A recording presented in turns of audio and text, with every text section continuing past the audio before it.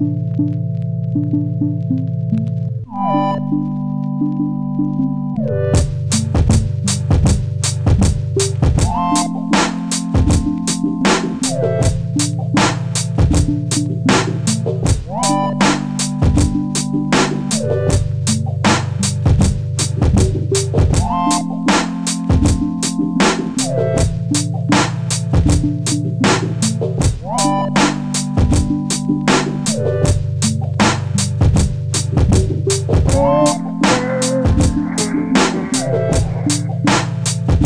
Bye.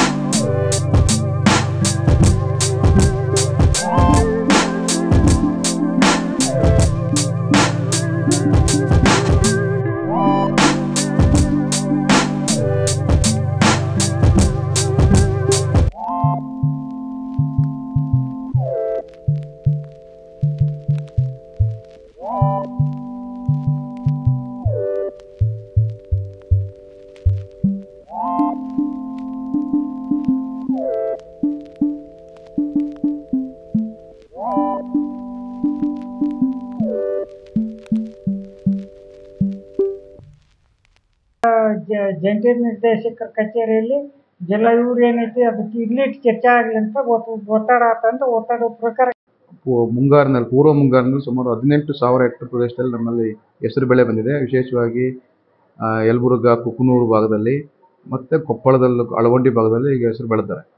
ಈಗ ನಾವು ಈಗ ಕಳೆದ ತಿಂಗಳು ಮನೆ ಜಿಲ್ಲಾಧಿಕಾರಿ ಅಧ್ಯಕ್ಷತೆಯಲ್ಲಿ ಸಭೆ ಮಾಡಿ ಈಗ minimum support price M S P ಬೆಂಬಲ ಬೆಲೆ ಯೋಜನೆಯಲ್ಲಿ ಖರೀದಿ ಮಾಡಲಿಕ್ಕೆ ಈಗ ಸರ್ಕಾರಕ್ಕೆ ಪ್ರಸ್ತಾವನೆ ಕಳಿಸಲಾಗಿದೆ.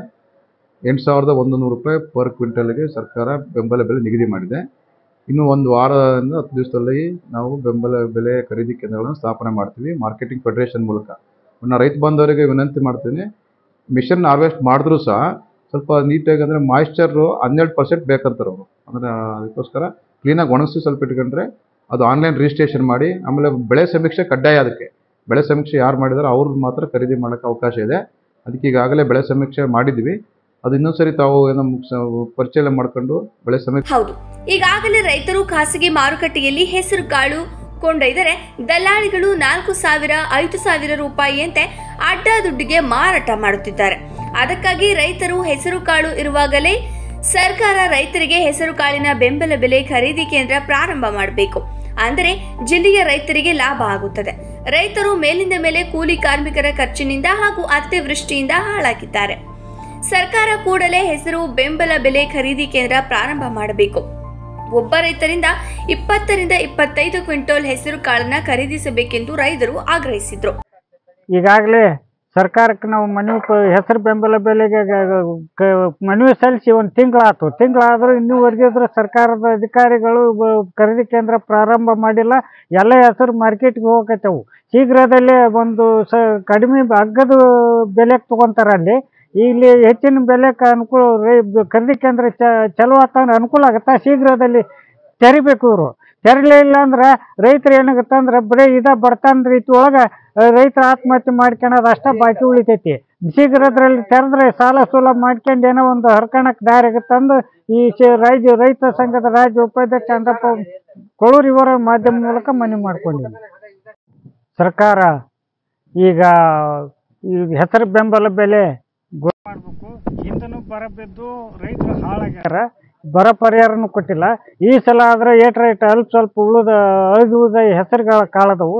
ಹೆಸರು ಕಾಳು ಮಾರ್ಕೆಟ್ ಹೋಗಿಂದೇನು ಇದು ಖರೀದಿ ಕೇಂದ್ರ ತೆರಿತಾರೆ ಅನ್ನೋ ಸರ್ಕಾರ ಈಗಾಗಲೇ ಗದಗ, ಪಕ್ಕದ ಗದಗ ಜಿಲ್ಲೆಯಲ್ಲಿ ಮನವಿ ಸಲ್ಲಿಸಿದ್ವಿ. ಸಲ್ಲಿಸಿದ್ರು ಅವ್ರ ಖರೀದಿ ಕೇಂದ್ರ ತೆರೆದಾರ. ನಾವು ಕೊಪ್ಪಳ ಜಿಲ್ಲೆದಾಗ ಮೊದಲೇ ಈಗಲೇ ಒಂದು ತಿಂಗಳಾಯ್ತು ಮನವಿ ಸಲ್ಸಿ ಇನ್ನೂವರೆಗೆ ಆದರೂ ಖರೀದಿ ಕೇಂದ್ರ ಪ್ರಾರಂಭ ಮಾಡಿಲ್ಲ. ಅಧಿಕಾರಿ ನಿರ್ಲಕ್ಷ್ಯದಿಂದ ಈ ಖರೀದಿ ಕೇಂದ್ರ ಆ, ಪ್ರಾರಂಭ ಮಾಡಿಲ್ಲ ಅನ್ಸುತ್ತೆ ಅವ್ರ ನಿರ್ಲಕ್ಷ್ಯದಿಂದ ಲೇಟ್ ಆಗೈತಿ. ಶೀಘ್ರದಲ್ಲಿ ಈಗ ಖರೀದಿ ಕೇಂದ್ರ ಸರ್ಕಾರ ತೆರಿಬೇಕು. ಅಂದ್ರೆ ರೈತರಿಗೆ ಅನುಕೂಲ ಆಗುತ್ತಾ? ಎಲ್ಲ ಕಾಳು ಹೋದ್ಮೇಲೆ ಯಾವುದೂ ಪ್ರಯೋಜನ ಆಗಲ್ಲ, ಶೀಘ್ರದಲ್ಲಿ ತರಿಬೇಕಂತಂದು ನಾವು ರೈತ ಸಂಘದ ರಾಜ್ಯ ಉಪಾಧ್ಯಕ್ಷ ಚಂದಪ್ಪಕ್ಕಳು ಮಾಧ್ಯಮ ಮೂಲಕ ಮನವಿ ಮಾಡ್ಕೊಂಡಿದ್ದೆ ಧನ್ಯವಾದಗಳು. ನಾವು ಖರೀದಿ ಕೇಂದ್ರ ಜಲ್ದಿ ಚಾಲೂ ಮಾಡಿದ್ರೆ ರೈತರು ಉಳ್ಕಂತೀವಿ. ಇರ್ಲಿಲ್ಲ ಅಂದ್ರೆ ಖಾಸಗಿ ಕೇಂದ್ರಕ್ಕೆ ಹಾಕ್ತಾರೆ. ರೇಟ್ ಇಲ್ಲ ಪಾರ್ಟಿ ಇಲ್ಲ ಹಾಕಕ್ಕೆ ಮುಖಕ್ಕೆ ತೊಗೊಂತಾರೆ ಅವರು. ಈಗ ರೈತರು ಯಾಕೆ ಉಳಿಬೇಕು ಜಲ್ದಿ ನೀವು ಶೀಘ್ರದಲ್ಲಿ ಖರೀದಿ ಕೇಂದ್ರ ಚಾಲೂ ಮಾಡ್ಬೇಕು. ಇಷ್ಟ ಮನವಿ ನಮ್ದು. ತಮ್ಮ ಹೆಸರು? ತಮ್ಮ ಹೆಸರು ನಾಗಪ್ಪ ಸೂಟಿ